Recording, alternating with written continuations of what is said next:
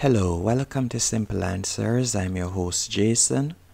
In this video, I'll be showing you how to recover deleted WhatsApp call history on Android or how to restore deleted WhatsApp call history on Android. The first thing you're going to do is go into Play Store and you're going to search for WAMR. As you can see here, you'll be able to recover deleted messages and status download. After you have done that, you're going to tap on open and you're going to tap on the three dashes in the top left hand corner.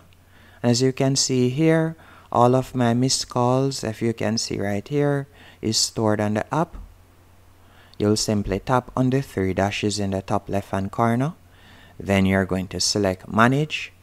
And from here, you'll tap on WhatsApp and by tapping on WhatsApp, whenever you miss a call from WhatsApp or receive a call from WhatsApp, it will be stored here.